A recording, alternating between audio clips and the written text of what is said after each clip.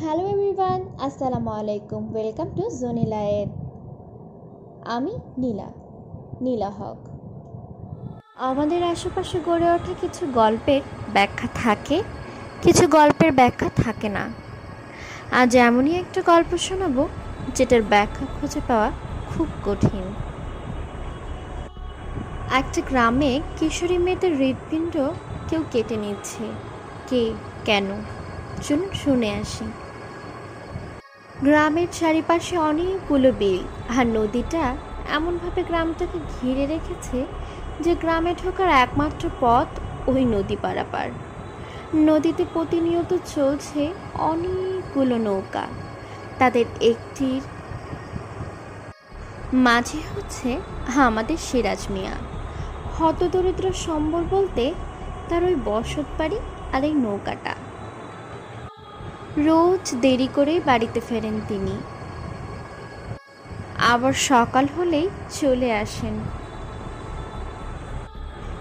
নৌকা নিয়ে মাছ ধরতে। লোক পারাপার করেন, শাপলা তোলেন, এগুলো করেই দিন কাটে তার। অন্য দিনের মতোই গঞ্জে দাঁড়িয়েছিলেন যাত্রী নিয়ে খেয়া পারাপার করার উদ্দেশ্যে। হঠাৎ দেখলেন একজন লোক অর্ধবয়স্ক। তার নৌকার দিকে এগিয়ে এসে বললেন, তিনি যাবেন শেফাতচর শেফাতচর হলো সিরাজ মিয়ার গ্রাম। হঠাৎ একজন নতুন লোককে শেফাতচর যেতে দেখে একটুখানি কৌতূহল হলো সিরাজ মিয়ার। কে সে, কোথায় যাবে? কিন্তু তখন বললেন, ঠিক আছে, উঠে পড়ুন নৌকাতে। তাকে নিয়ে নৌকা ছাড়ার পর মুখ দেখে অচেনা অচেনা লাগলে তিনি জিজ্ঞাসা করলেন, কোথায় যাবেন তিনি? কোন বাড়িতে? কে থাকে সেথায়? ইত্যাদি। মাঝ বয়সী লোকটা কেমন যেন বিরক্ত হলো। তাকে দেখেই প্রথমে একটু কেমন যেন লাগছিল, বিরক্ত, রাগান্বিত। এরপরও তিনি জানালেন শেফাচ্চরে মাধবকুণ্ডুর বাড়িতে যাবেন তিনি।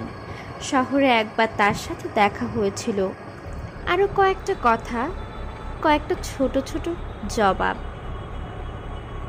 কিন্তু কথাগুলো শুনে মনে হচ্ছিল তিনি কথা বলতে খুব একটা চাচ্ছেন না। তাই বিশেষ জোরাজুরি করল না সিরাজ মিয়া। কথা না বাড়িয়েই চলল গ্রামটার দিকে। কিন্তু সিরাজ মিয়ার ঠিক পাশের বাড়িটাই ছিল মাধব কুণ্ডুর বাড়ি। গ্রামে পৌঁছে দিয়ে চলে গেল সিরাজ মিয়া। কেমন জানি কালো হয়ে এলো আকাশ। কেমন জানি একটা বৃষ্টি আচ্ছন্ন পরিবেশ ছেয়ে গেল। এই মাত্রই রোদ ছিল।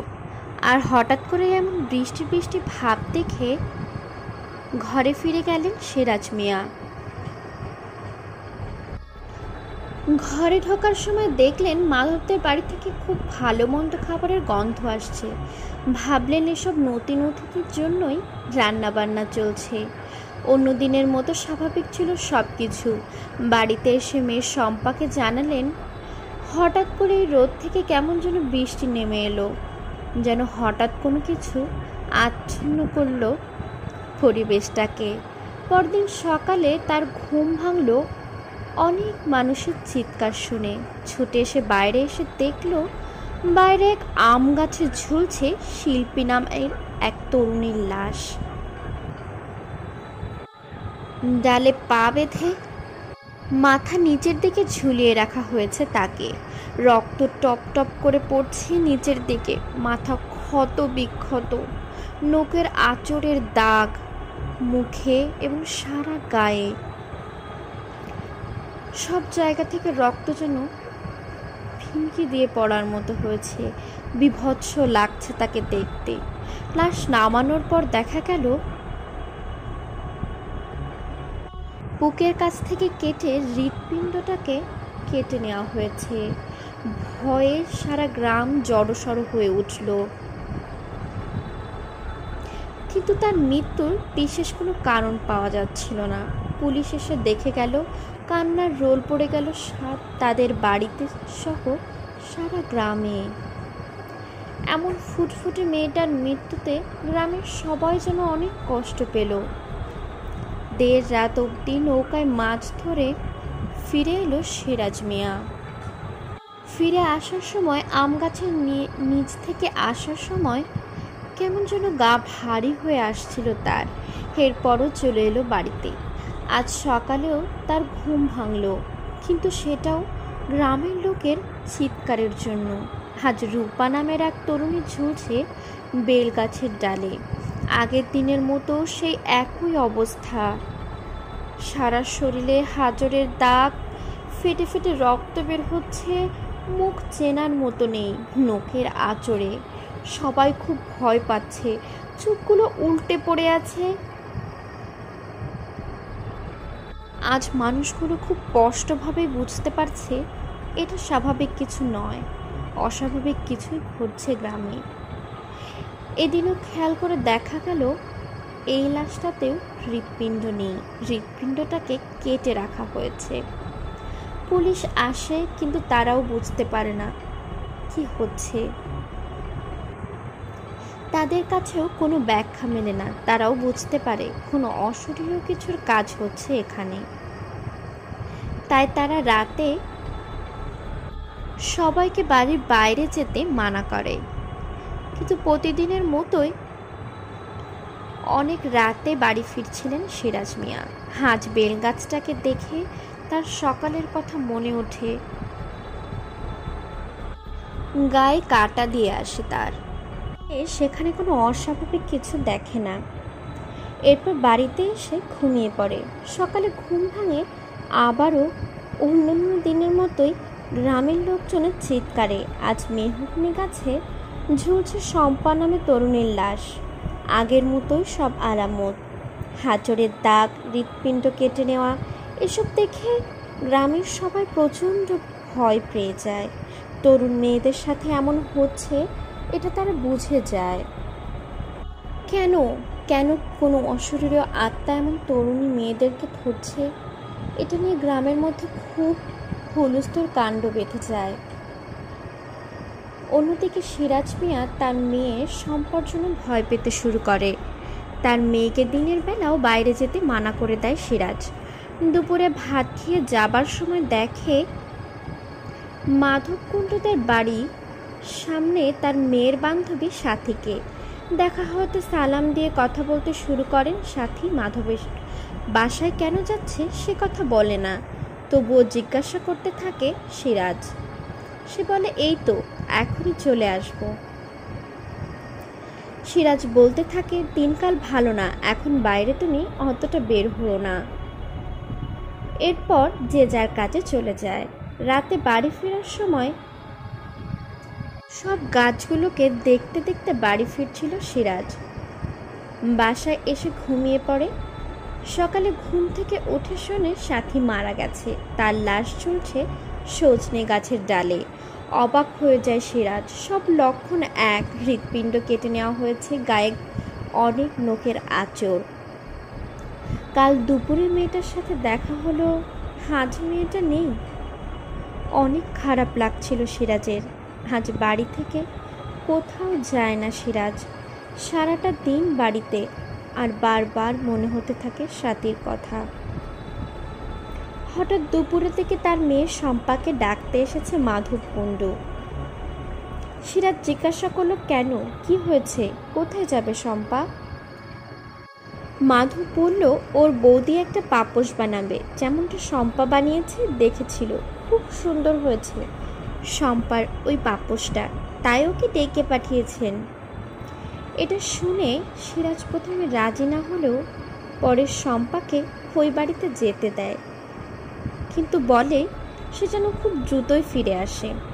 শম্পা মাধবদের বাড়িতে গেলে না ফেরা অব্দি সিরাজ বারান্দায় পায়চারি করতে থাকে। মেয়েকে ভীষণ ভালোবাসে।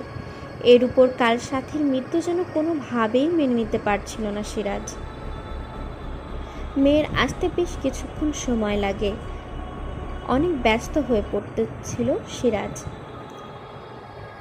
মেয়ে ফিরে আসে, কিন্তু কোনো কথা বলতে চায় না। চুপচাপ সে নিজের ঘরে চেয়ে শুয়ে থাকে। সিরাজ বারবার জিজ্ঞাসা করতে থাকে, কি হয়েছিল ওখানে?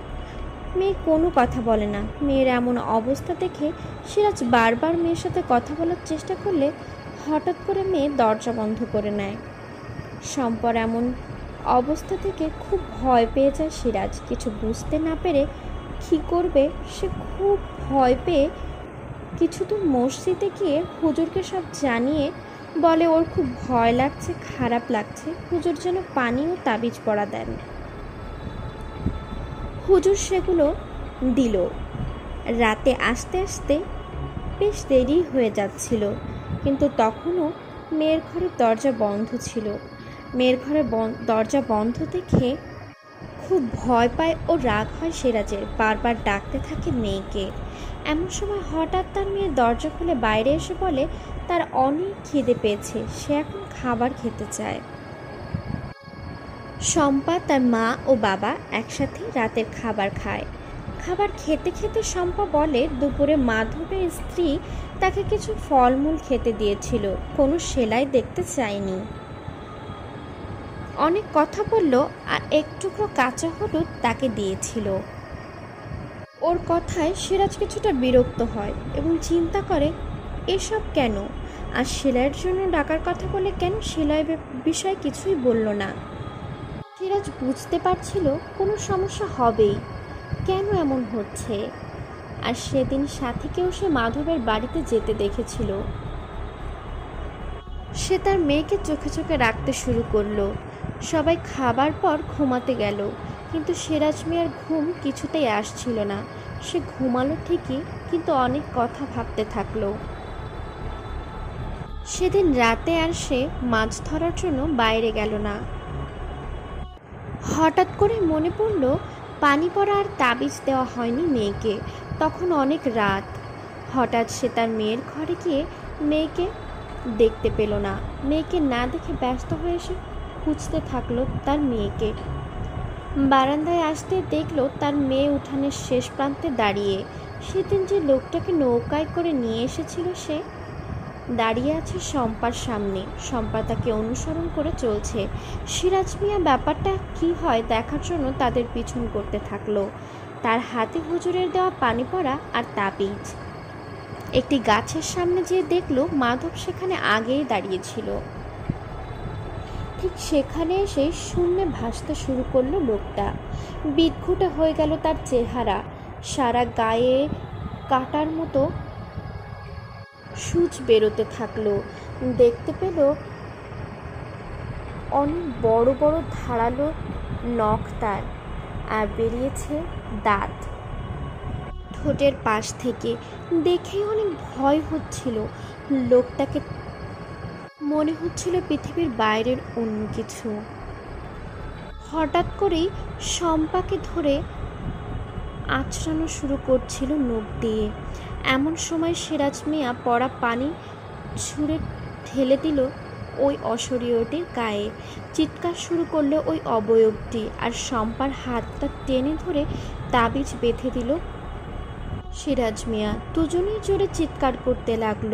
শম্পা ও সিরাজ মিয়ার চিৎকার শুনে ঘর থেকে বেরিয়ে আসলো গ্রামবাসী। মাধব পালানোর চেষ্টা করছিল।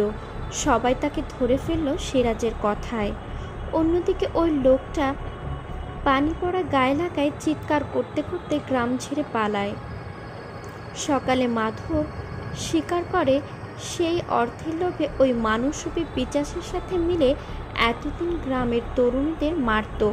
আর ওই পিচাস তরুণী মেয়েদের হৃৎপিণ্ড খেয়ে শক্তি সঞ্চার করছিল। মাধবকে তার উপযুক্ত শাস্তি দেয় পুলিশ। আর এইসব ঘটনা থেকে পরিত্রাণ প্রায় গ্রামের মানুষগুলো। আজকের গল্পটা এ পর্যন্তই। পরবর্তী গল্প শোনার জন্য লাইক কমেন্ট অ্যান্ড সাবস্ক্রাইব করে আমাদের সঙ্গেই থাকুন। আমাদের গল্প যদি আপনাদের ভালো লাগে, কমেন্টের মাধ্যমে জানাবেন এবং নিজের জানা কোনো ভূতের গল্প আমাদেরকে শেয়ার করার জন্য কমেন্টের মাধ্যমে জানাতে পারেন। ভালো থাকবেন, সুস্থ থাকবেন।